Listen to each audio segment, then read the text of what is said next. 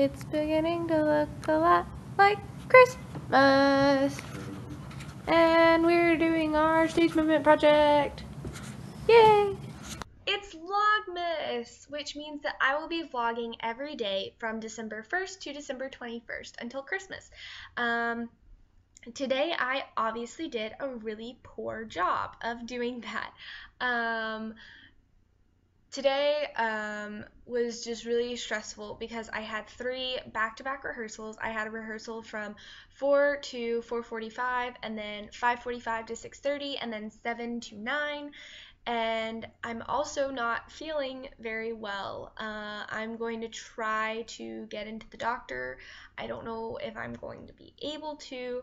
Um, but one thing, um, beside the fact that I had like three back to back rehearsals, um, yesterday I dropped my phone in the toilet because I'm an idiot.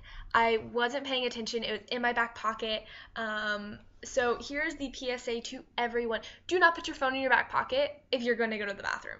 Like I, I, I didn't even realize it was there because usually I take it out because I've heard, I've heard stories. I've heard people say, you know, like, oh, it was in my back pocket and it fell in the toilet. It was terrible. And so when I go to the bathroom, it's it never stays in my pocket. I always take it out. And I had to go to the bathroom so bad.